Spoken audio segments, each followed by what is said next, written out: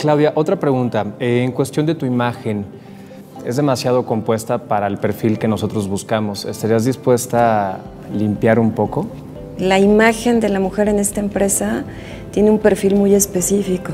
La discriminación por apariencia física u origen étnico está prohibida. La norma mexicana en igualdad laboral y no discriminación promueve ambientes de trabajo a favor de la diversidad. Con la inclusión, ganamos como país. Secretaría de Gobernación, CONAPRED.